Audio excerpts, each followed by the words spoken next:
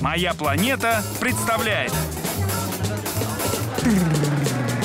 Должно быть, вы обо мне уже слышали. Я Александр Пряников, и я очень люблю путешествовать. Куда бы я ни приехал, первым делом отправляюсь на рынок или барахолку. Вот где моя стихия. Рынок – это то самое место, где вы узнаете о стране больше, чем из любого путеводителя. Кровь моя здесь кипит от адреналина. Нет ничего лучше, чем торговаться за какую-нибудь мелочь. Эй, я его топтал. Я прихожу в восторг, когда вижу, что товар, который стоит миллионы, я могу купить за копейки. Я отправляюсь в путешествие, чтобы пополнить свою коллекцию. Из каждой поездки я привожу что-то уникальное. Фигурки, чашки, рюмки, картинки, одежду, что угодно. Для меня они бесценны. Это моя прелесть. Вместе с вами мы посетим самые лучшие рынки мира, услышим их звуки, почувствуем ароматы. А самое главное, узнаем потрясающих людей, которые и есть Мировой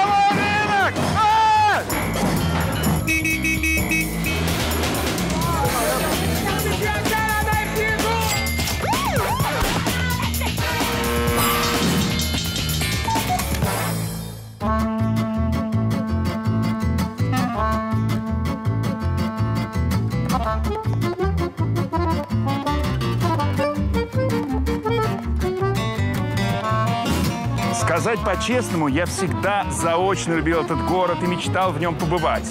И вот я здесь.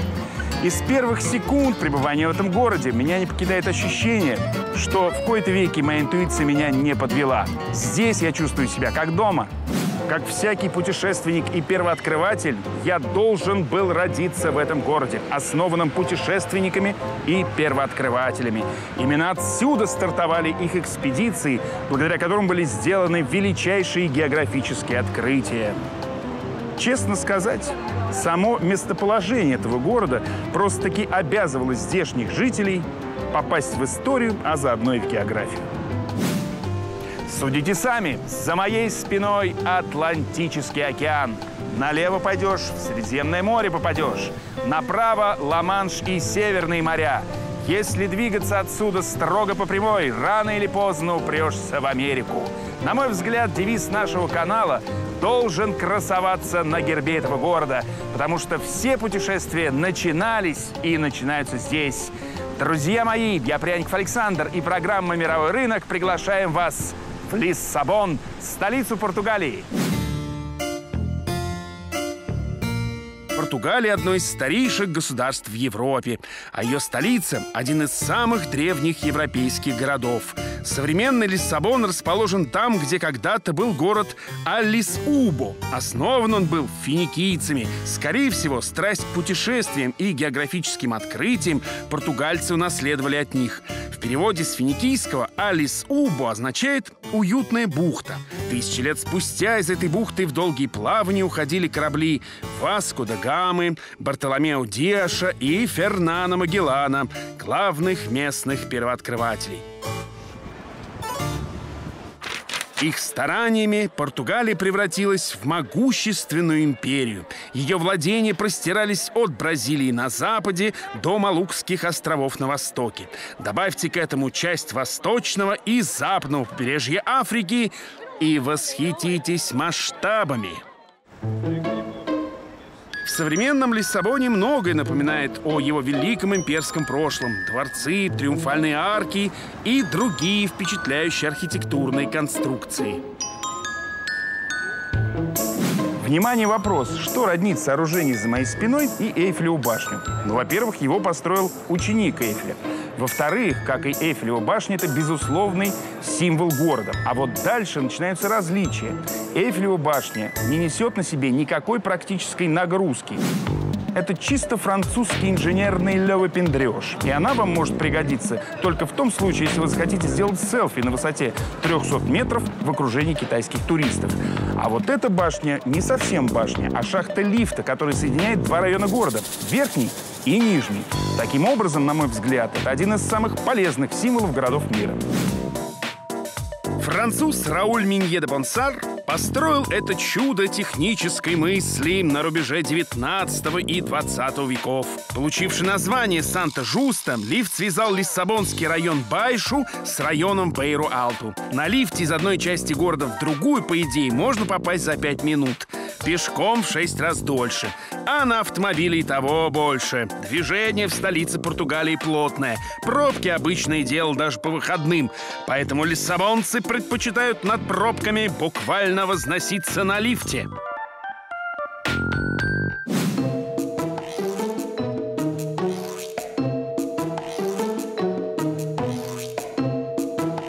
Второй безусловный и полезный символ Лиссабона – это старый трамвай, который ходит по знаменитому 28-му маршруту. Поговаривают, что он настолько старый, что на нем ездили еще Васко да Гама и Фернан Магеллан, когда возвращались из своих путешествий в эпоху великих географических открытий. А теперь забудьте все, что я вам говорил о пользе этих символов. Для того, чтобы попасть в лифт, вам нужно отстоять полуторачасовую очередь. Да и в этом трамвае местные давным-давно уже не ездят. Все оккупировали туристы. На некотором удалении от туристических троп Лиссабона находится район Алвалад. 28-й трамвай здесь не ходит, рельсов нет, а поэтому и туристов здесь не бывает. Хотя заглянуть им сюда был бы не лишним. Наконец-то я понял главное, ребята. Все рынки в России построили португальцы. Доказательство этому за моей спиной. Обратите внимание, вот такие жизнерадостные конструкции из серого бетона и стекла вы можете встретить практически в любом российском областном центре. Этот рынок называется Алвалат. И располагается он в фешенебельном районе Лиссабона. И сейчас я вам покажу, как выглядит типичный рынок для своих, о котором пока еще не пронюхали туристы. Прошу за мной. Рынок Алвалат расположен по адресу. Авеню Рио-де-Жанейро, дом 27. Из центра города от площади Россию сюда проще всего добраться на метро. Садитесь на поезд на зеленой ветке на станции Россию. Проезжайте 8 остановок до станции Алвалат и оттуда еще 5 минут пешком. Ну и вы у цели.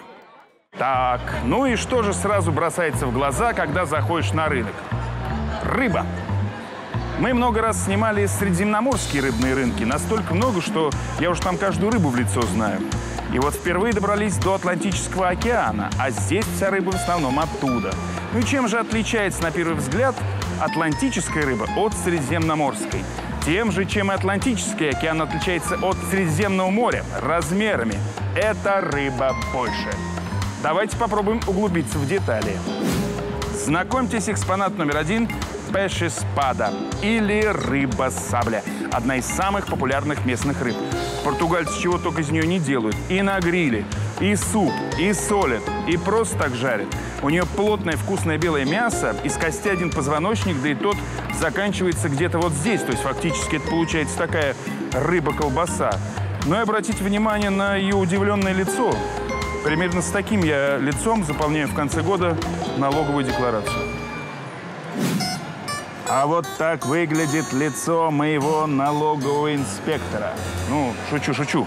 Это морской черт. И главная ценность этой рыбы в ее печени. Вот она. Местные ее обжаривают, добавляют рис, и получается популярное народное блюдо рожь де тамбурью. А вот это, ребята, главный рыбный символ Португалии. Знакомьтесь, бакаляу, она же котфиш, она же треска. Португальцы знают 365 способов ее приготовления по числу дней в году. Едят на дни рождения, на свадьбы, на похороны, на Рождество, Новый год, Бармитсву и Пейсах. А теперь самое интересное. Главный рыбный символ Португалии в самой Португалии не ловится. Они ходят за ней к берегам Канады, ну или в Норвегию. Слушайте, пойдемте отсюда, она мне еще там надоела. Пару лет назад был опубликован международный рейтинг «Самые лучшие рыбы мира». И первое место в этом рейтинге принадлежит не Франции, не Испании, не Италии и даже не азиатским странам. На первом месте расположилась Португалия. Местная рыба признана самой свежей и самой дешевой в мире. А это потому, что Португалия вытянута вдоль Атлантического океана. И ловить рыбу здесь приятно, легко и незатратно. Поэтому большинство японских сушибаров во всем мире используют именно португальскую рыбу. Но на этом связь Японии и Португалии не заканчивается. Португальцы первыми из европейцев достигли берегов Японии и наладили с ними торговые отношения. В современном японском языке около 200 слов, имеющих португальское происхождение. Самое известное из них «аригато» происходит от португальского «абригадо» – «спасибо». Впрочем, не рыба единый жив Алвалат. Купить на этом рынке можно и мясо, и овощи, с которыми сюда регулярно приходят местные жители. Кстати, средний возраст посетителей рынка 60+. Надеюсь, ниже следующая информация заинтересует и их, и вас, мои дорогие и вечно юные телезрители. А вот еще один продукт, который вы нигде, кроме как в Португалии, не встретите. Это разновидность капусты. И готовят из нее местный популярный суп под названием калдуверды. Готовят просто. Берут вот эту капусту, картошку, морковку, варят, потом перемалывают в блендере, добавляют пару капель растительного масла и колбаски чоризу. А сейчас мы с вами поговорим о другом супе. И называется он борщ.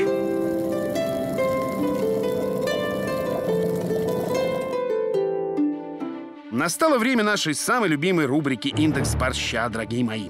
Борщ – блюдо уникальное и всем известное. Входит в него более 20 ингредиентов. Представлены все группы товаров – мясо, молоко, овощи, специи. А индекс борща – это самый простой способ выяснить, сколько стоят ингредиенты для трех литров борща согласно классическому рецепту Вильяма Похлебкина. Так мы наглядно показываем вам средний уровень местных цен на самые ходовые продукты. А для объективности подсчета стоимость каждого ингредиента высчитываем вплоть до грамма. Напоминаю положение дел в турнирной таблице. На данный момент самые дорогие продукты для борща можно приобрести в столице Франции Париже. Самые дешевые в столице Грузии Тбилиси. Между Парижем и Тбилиси Вик, Барселона, Турин, Прага, Загреб, Казань, Сайда, Петербург, Ереван, Астрахань, Калининград, Белград, Баку и Македонский Охрид.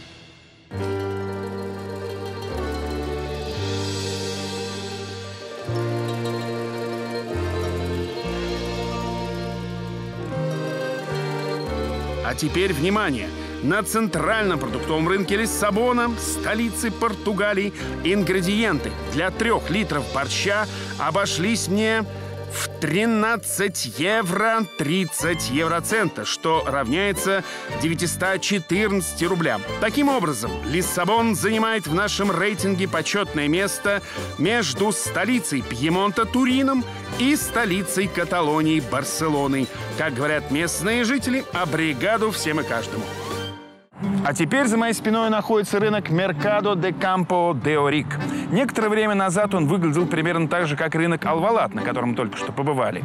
Затем сюда пришла команда молодых, бородатых и энергичных людей и полностью его преобразила. И сейчас с одним из этих людей я вас и познакомлю. Рынок Меркадо де Кампо де Арик находится по адресу улицы Коэльо Дороша, дом 104. Чтобы добраться сюда из центра Лиссабона, можно и нужно сесть на легендарный 28-й трамвай, проехать ровно 10 остановок, а потом еще пару минут прогуляться пешком. Общее время в пути 25 минут. Передо мной Родриго Сирилу, главный человек на этом рынке. Родриго, если вас- Родриго, насколько я знаю, ваш рынок еще недавно ничем не отличался от традиционных продуктовых рынков Португалии. Как же вам пришла в голову идея превратить его в одно из самых модных мест города? У нас в городе не то чтобы хорошая ситуация с рынками. Рынки, как традиционное место купли-продажи товаров, уходят в прошлое. Новому поколению гораздо проще и понятнее покупать продукты в супермаркетах. На рынке же у нас ходят в основном люди постарше. Но несколько лет назад власти нашего города устроили конкурс, смысл которого был вдохнуть в рынки новую жизнь. Конкурс выиграла наша компания. Наша идея была открыть здесь кафе и рестораны, где можно было бы попробовать все то, что здесь продается. Реорганизовывая этот рынок, на кого вы ориентировались? Может быть, на рынок Ля Буккерия в Барселоне? Точно. И еще на точно такой же рынок в Мадриде.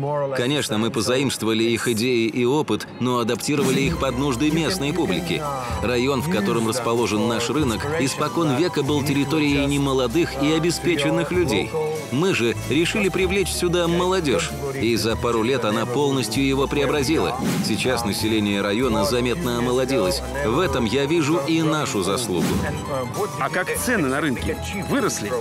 Рынок для нас – это прежде всего бизнес, а не благотворительность. Конечно, наша главная цель – извлечение прибыли, но задирать цены – не самый лучший вариант эту прибыль извлечь. Так что цены мы не меняли, изменили только ассортимент рыночных услуг. Ну, хочу теперь сам все увидеть и все попробовать. Конечно, пошли.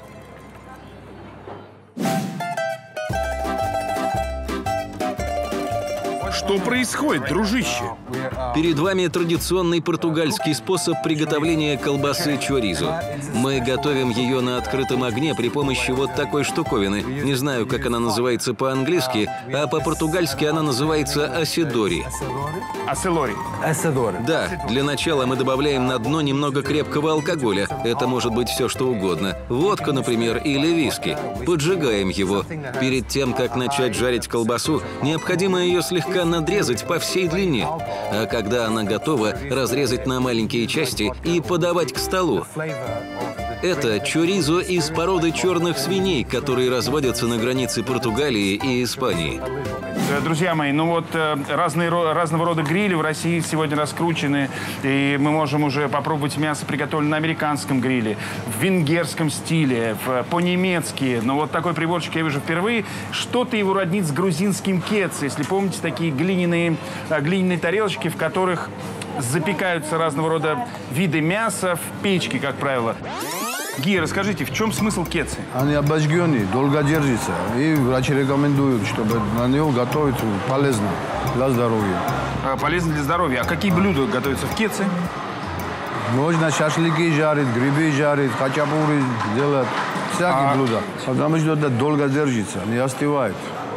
Можно чкмерули делать, можно этот, острый готовить, шашлыки жарить, хачапури делать. И когда на стол ло- ложишь, долго держится. Долго Не держит осты- температуру. Не за остывает счет того, что- температура.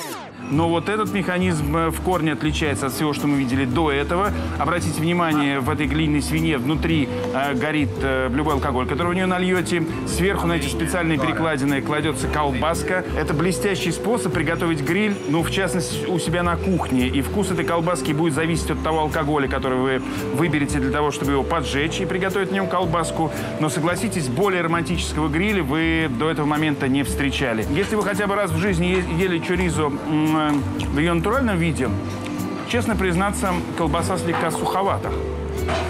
Ее много не съешь. Если вы когда-нибудь пытались жарить копченую колбасу на костре, сами понимаете, нужно сначала развести костер, найти копченую колбасу и настроение, чтобы это сделать. А вот такой способ приготовления чоризо быстрый, незатратный. И, в общем-то, вы не рискуете сжечь кухню после того, как вы приготовите эту вкусную еду. Фантастик. Колбаса чоризо. Всего 4 евро за штуку. Гениальный прибор для ее приготовления Айсидори в среднем 8 евро. Перед вами наш лучший сыр. Попробуйте. Ну, давайте попробуем их плавленый сырок. Так.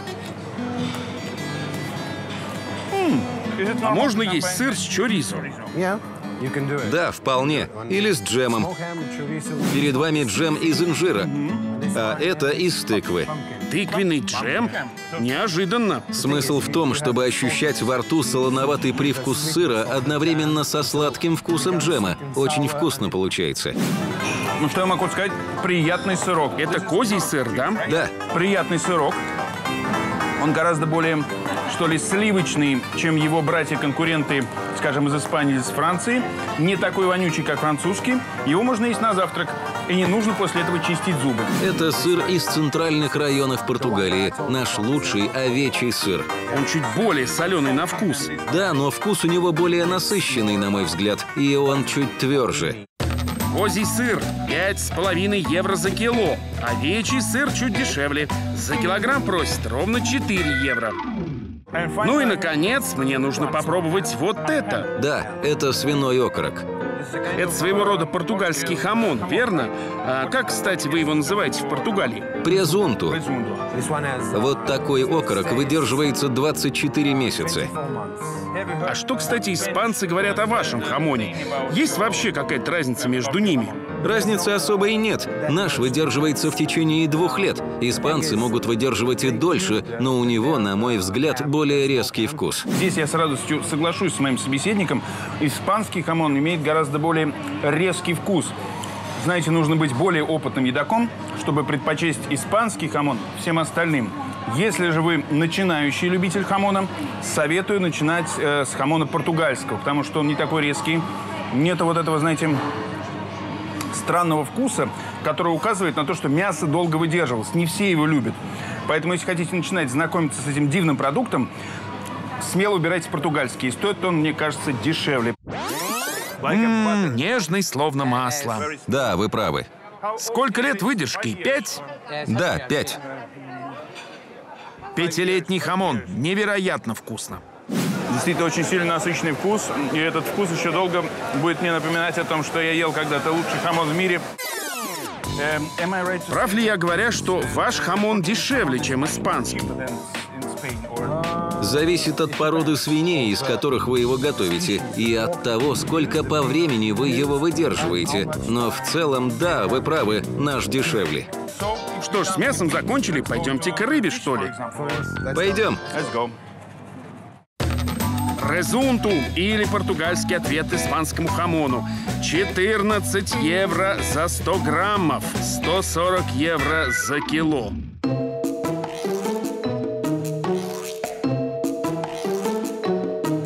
Кажется, он меня привел в консерваторию. Вот Вы знаете, у нас в стране бытует несколько стереотипов о консервах. Во-первых, считается, что это еда бедняков, а во-вторых, в рыбные консервы обычно кладут рыбу не самого лучшего качества. Это не так. Рыба, которая содержится в этих консервах по своему качеству, ни в чем не уступает свежей рыбе, которую вы можете купить у нас же. Но вы отчасти правы в том, что консервы и в самом деле считались едой для бедных. Но это было давно, и те времена прошли. Сейчас вы можете купить у нас просто великолепные рыбные консервы. Вот, к примеру, сардины в оливковом масле. Или вот, сардины в остром соусе и оливковом масле. А вот сардины в томатном соусе. В томатном соусе, знаете, когда я был студентом, нечто подобное было крайне популярно у нас в стране. Ведь когда ты студент, это значит, что у тебя денег нет совсем. И вот в те времена у нас на каждом углу продавались консервы, которые назывались килька в томате. Сможете повторить? Килька? Килька в томате. Тафа... Килька тамаки. Килька в томате. Это была такая малюсенькая рыбка в томатном соусе. А что за рыба-то? Понятия не имею, как она называется по-английски, просто килька. Наверное, это такая же маленькая рыбка, как и сардины. Да, наверное, килька — это русская сестра ваших сардин. В следующий раз, когда сюда приеду, обязательно привезу с собой баночку. Вы будете потрясены, гарантирую. Честно говоря, глядя на эти консервы, создается впечатление, что сделаны они были в 19 веке. Это сделано специально. Их дизайн выдержан в ретро-стиле, потому что это нравится покупателям. Такая, знаете ли, светлая ностальгия по старым добрым временам. Вот хороший пример. Смотрите, какой шрифт, оформление. Ностальгия в чистом виде. Ну вот вам, друзья, еще один э, хороший пример сувенира, который можно увезти из Португалии. Это замечательные консервы, оформленные в ретро-стиле. Они наверняка украсят вашу хрущевку, будут храниться долго и будете уверены, э, в них содержится высококачественный продукт. Португальские консервы – гордость всех местных жителей. Цена вопроса в среднем 10 евро за банку.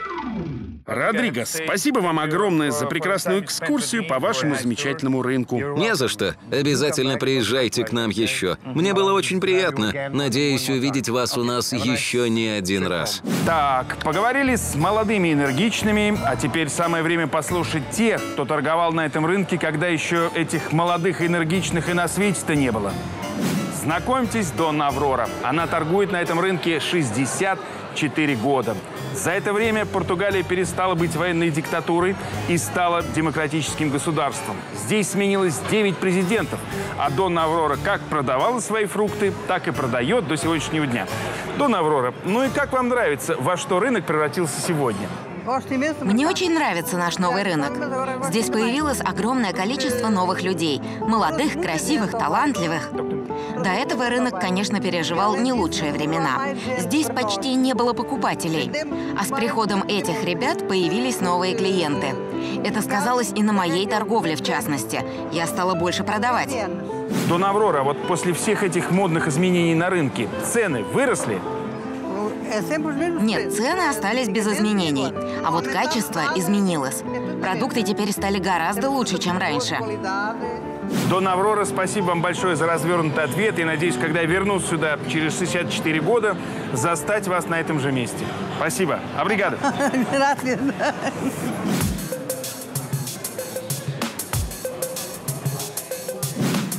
А теперь мораль. У нас в Москве тоже некоторые рынки решили пойти по пути обновления и завели у себя рестораны, фалафельные и прочую шаурму. Но если на Бакерии и здесь эти процессы привели к увеличению омоложения аудитории, у нас пока все вылилось только в троекратное повышение цен.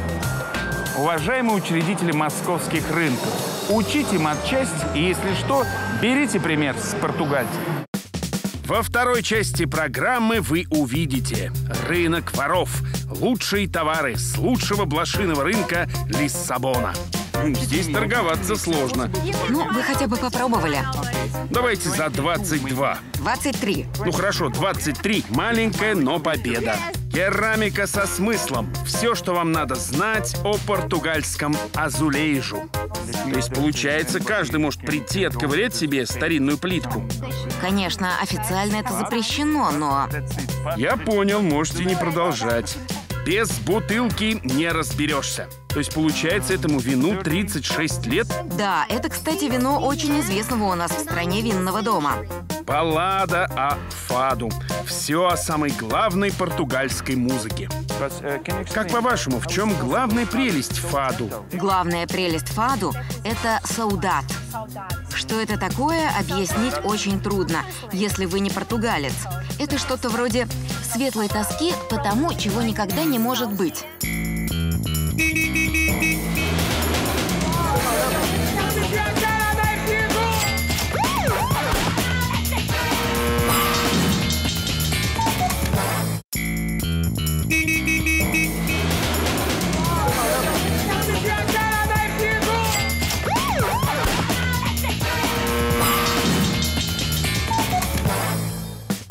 Предыдущей части программы вы могли видеть рыбий пир. Изучаем ассортимент главного рыбного рынка столицы Португалии.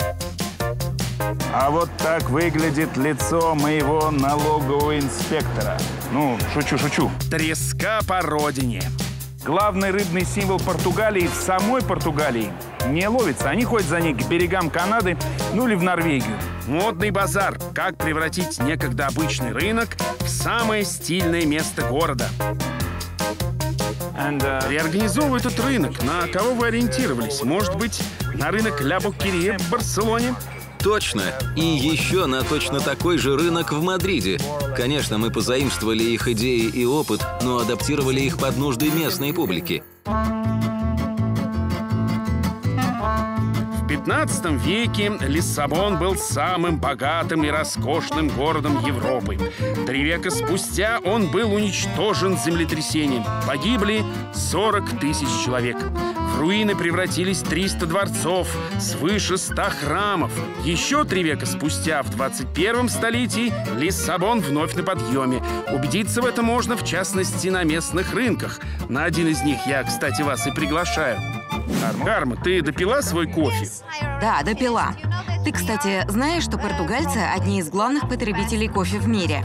Более того, это же мы открыли кофе всему миру, привезя его из Бразилии, нашей бывшей колонии, в эпоху великих географических открытий.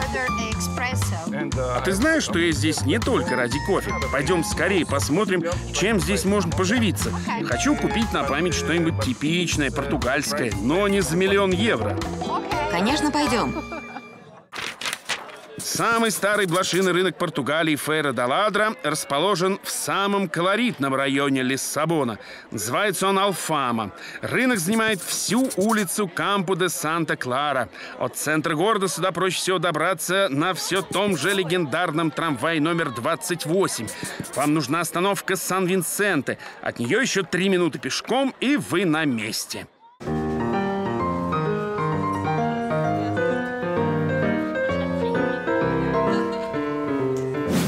Какая любопытная вещица. Да, это дверной звонок. Можно повесить его перед входом в дом или в коридоре. Он украшен черным петушком. Он называется барселуш.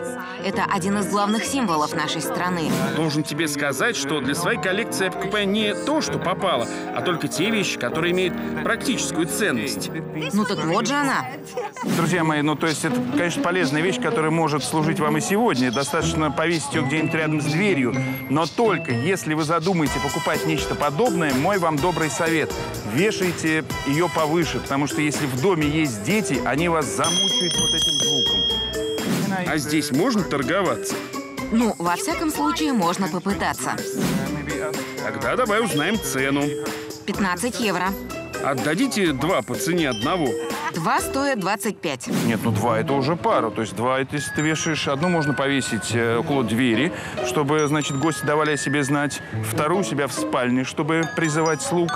На пара лучше, чем один. 20? А за 20 20, maybe. So you здесь торговаться сложно.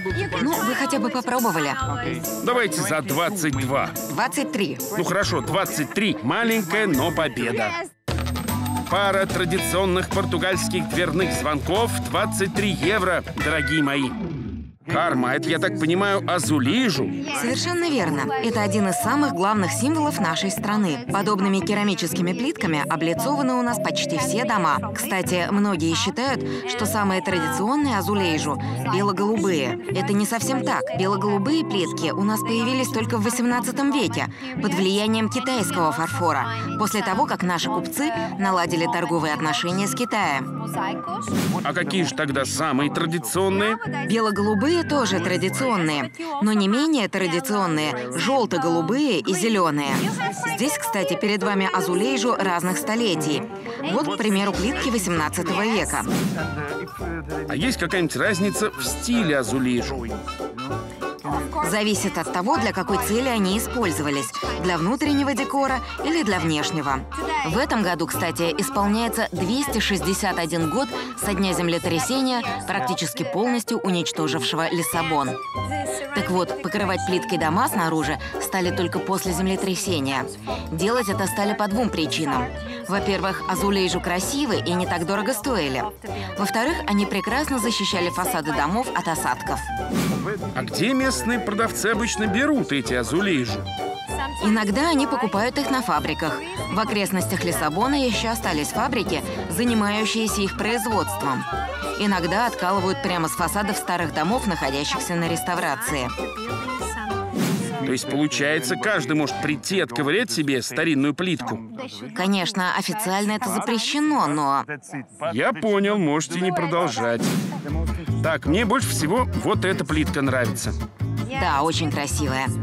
Это 19 век. А сколько она стоит? 5 евро. 5 евро? Я бы за такую и 10 не пожалел. Ну, я не знаю, мы сможете ли вы найти э, лучший сувенир, чтобы привезти из, э, из э, Лиссабона, потому что это есть его безусловный символ. Стоит всего 5 евро за изделие 19 века. И больше того, если вы это купите, это, это не должно храниться где-то в темном шкафу. Вы можете поместить это на стену, можете использовать, в общем-то, каждый день. Вы знаете, я, пожалуй, куплю сразу 4 таких плитки. Азулижу – безусловный символ Португалии, проверенный временем. Всего 5 евро за штуку.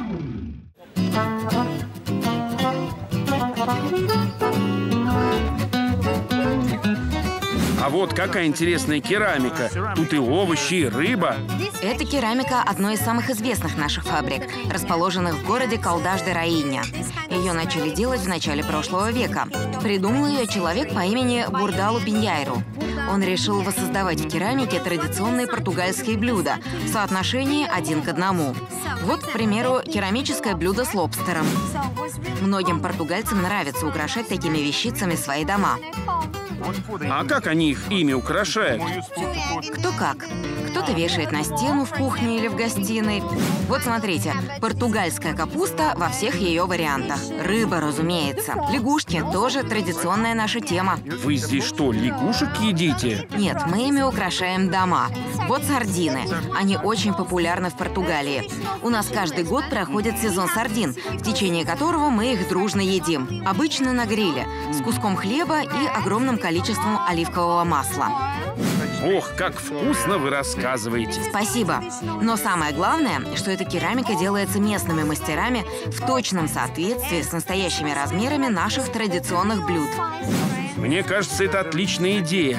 Если у вас недостаточно денег на все эти деликатесы, то можно просто купить себе какую-нибудь керамику. Да, и создать видимость богатого стола. Верно. Традиционная португальская керамика. В среднем 10 евро за изделие. Мне доводилось бывать на десятках блошиных рынков, но нигде прежде я не видел, чтобы кто-то продавал на них вино бутылками.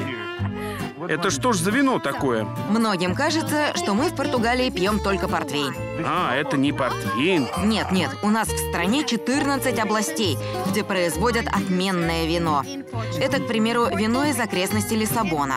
Вы знали, что около Лиссабона производят вино? Ну, теперь знаю. Это, к примеру, бутылка урожая 1980 года. 80-го? То есть, получается, этому вину 36 лет? Да, это, кстати, вино очень известного у нас в стране винного дома. Оно не испортилось, его, кстати, можно пить. Да, только надо его охладить для начала. Но ему же 36 лет. Ну и что? Если все эти годы вино хранилось по всем правилам, пить его можно и нужно. И посмотрите, какая интересная бутылка. Самый главный вопрос, и сколько оно стоит? В магазине бутылка такого вина обойдется вам в среднем в 35 евро. Это при условии, что вы его там найдете. Здесь же оно стоит 10 евро. 10 евро за бутылку вина, которому 36 лет? Вот давно уже путешествую по рынкам мира. Вы знаете, меня не отпускает мечта купить что-нибудь такое за бесценок, чтобы было по-настоящему ценным. Эту бутылочку вина я, пожалуй, возьму, попробую предложить своим друзьям в Москве, владельцам разного рода шато, вдруг оно их заинтересует. Но мне кажется, если здесь оно стоит 10 евро, никому не говорите об этом, потому что в Москве оно может стоить тысячи полторы. Окей, покупаю.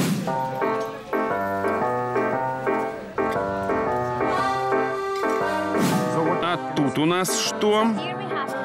Здесь продается португальское колониальное наследие. Вы, наверное, знаете, что в свое время нам принадлежала Ангола, Мозамбик, Кабо-Верде, Гвинея-Бисау.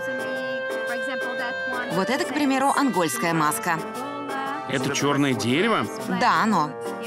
А какие, кстати, сейчас отношения между Португалией и ее бывшими владениями? Нормальные отношения. У нас живет много выходцев из Африки. А португальский язык, кстати, восьмой среди самых популярных языков мира. Во многом это случилось благодаря нашим обширным колониям, потому что в самой Португалии живет всего 10 миллионов человек. Увлекаетесь музыкой? Да, мои родители музыканты. Тогда пойдемте к музыкальному прилавку.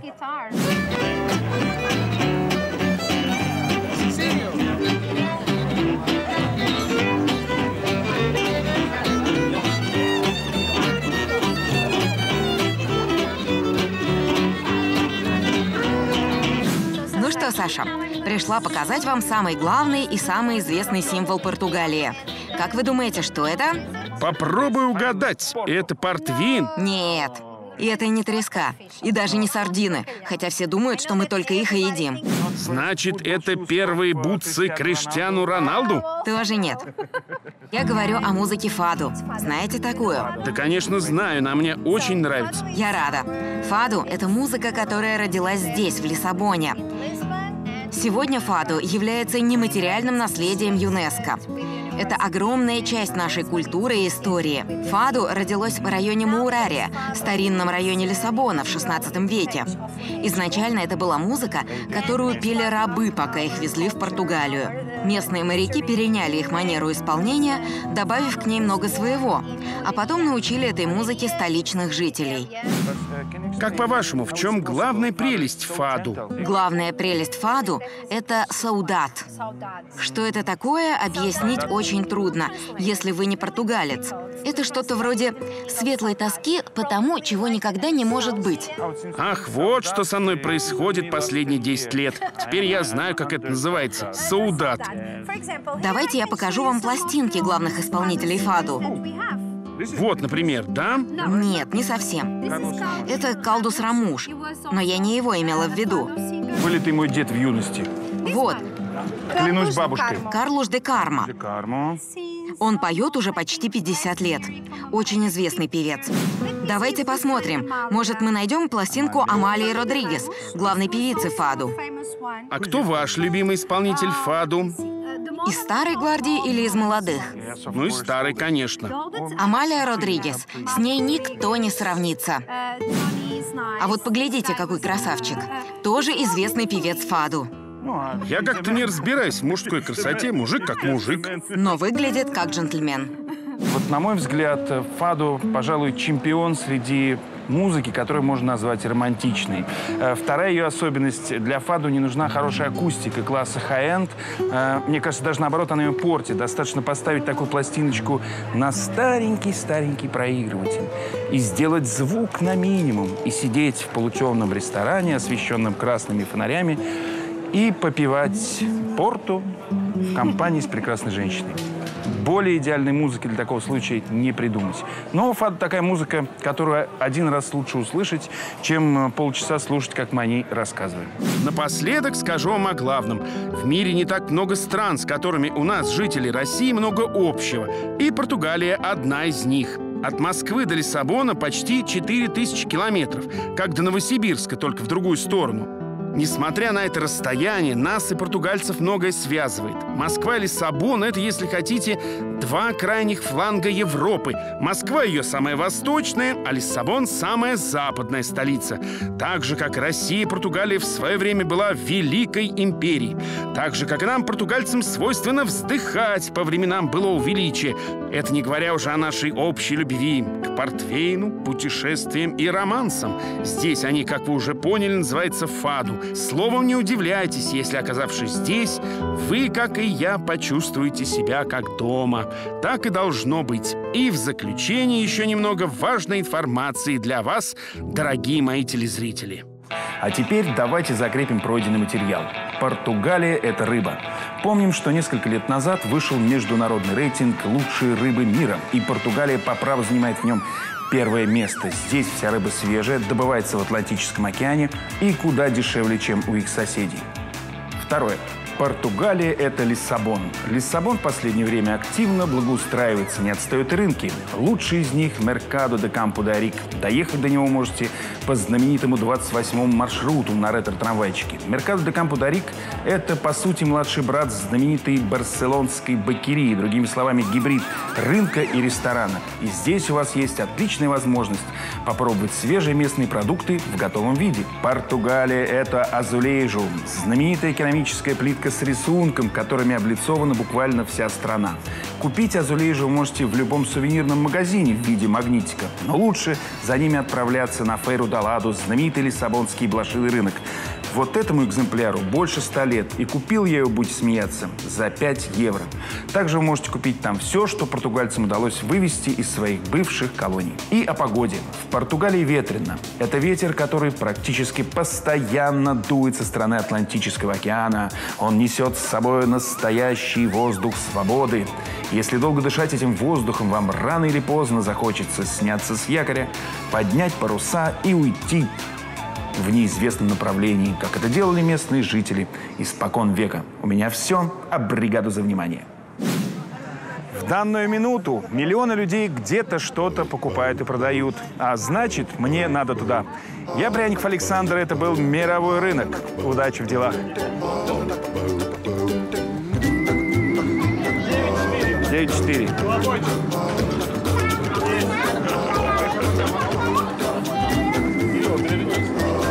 Давай лук отсюда еще, еще вот так вот. Нормально, Вася? Поедет. Ну что мы стоим?